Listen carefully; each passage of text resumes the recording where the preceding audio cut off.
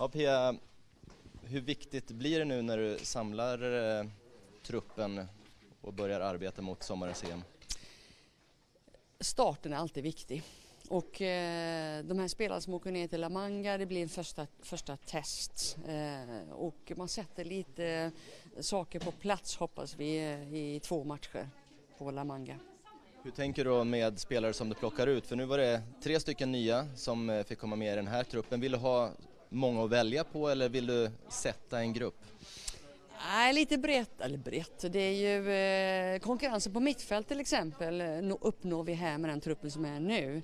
Och eh, jag tror det är viktigt att man känner att man har någon som flåsar i nacken eh, för att kunna prestera. Eh, sen tror jag att den här truppen kommer se lite annorlunda ut i Algarve beroende på hur vi presterar i La Manga. Hur mycket tillförlit sätter du till eh, de gamla trotjänarna? Du har ju ett gäng på varje eh, position eh, i laget ungefär.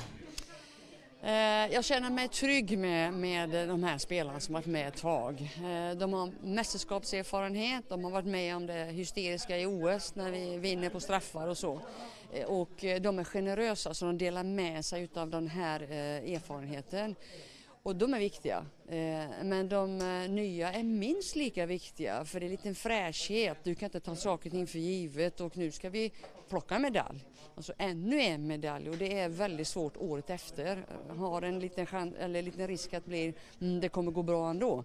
Men de nya spelarna kommer se till att mm, påminna oss om att vi kan inte ta någonting för givet. Men blir de äldre tillräckligt flåsade i nacken av de yngre?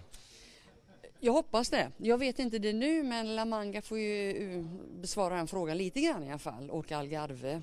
Så att eh, det jag hoppas på det, jag tror att eh, det kommer bli bra prestationer och så att eh, ingen kan eh, sitta lugnt i båten och tro att man ska åka med, för så är det inte. Och de, de nya är ju Hanna Glans, du har eh, Michelle de Jong och eh, Katrin Schmidt. Det är de nya som du har plockat ut. Ja, eh, om du tittar på Katrin Smith har ju fått och spelat väldigt länge i eh, en gedigen mittfältare. Eh, Rosengård och nu då eh, i eh, Djurgården. Eh, och hon svensk medborgarskap så att hon har ju många år i Allsvenskan. Ska vi se om hon kan lyfta sig och spela lite snabbare eh, och ta alla de initiativ som gör i Allsvenskan. Där har du konkurrens.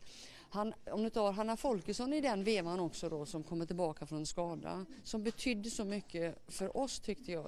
Eh, innan VM? Innan VM ja och så skadade sig.